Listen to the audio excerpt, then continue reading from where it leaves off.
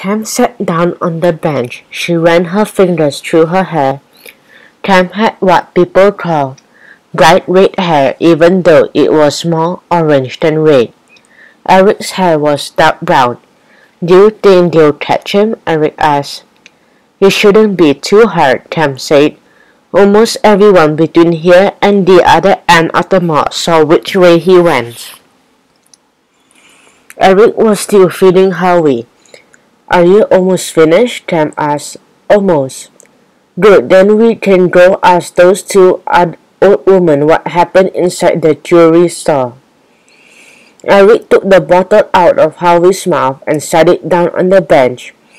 He held Howie against his shoulder and patted his back. Howie burped. Okay, Eric announced, we're ready. Eric carried Howie and Cam pushed the carriage. They went over to the next bench. My, what a cute baby, the woman with the cane said. Is it a boy or a girl? Boy. The woman looked straight at Howie and asked, Where's your mother, little boy? He doesn't talk yet, Eric told her. Oh, I'm his brother. My mother took the twins shopping for clothes. I'm watching him until they're done.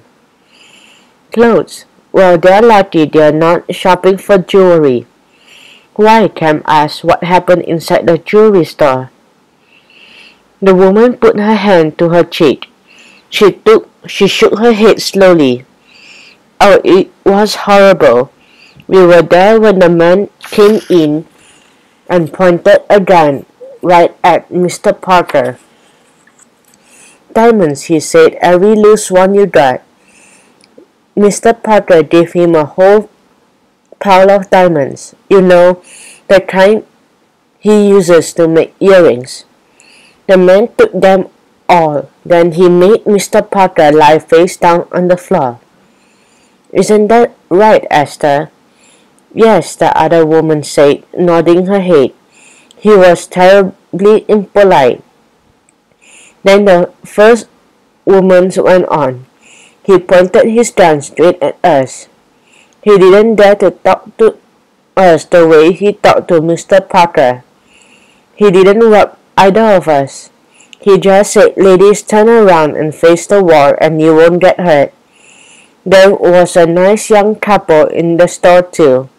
They had their baby with them, a cute little girl. I heard the man with the gun them to face the wall too.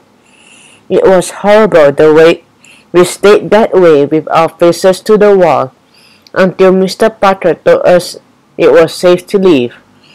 The woman stopped talking. Someone was shouting. They all turned to see where the noise was coming from. The policemen were coming back. There were four of them now, handcuffed to one policeman. Was a tall man in dark suit. I didn't do it, the man yelled. You got the wrong man.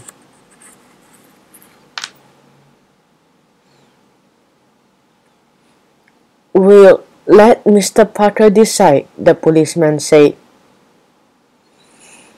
Cam was all excited. That's him. They got him. That's the man who ran out of, of Parker's. I remember that mustache, that dark suit, and that ugly green tie. Well, he may be the man who ran out of the store, the woman with the chain declared. But he's not the man who robbed Mr. Parker, is he, Esther? No, he's that's not him. I'm sure of it.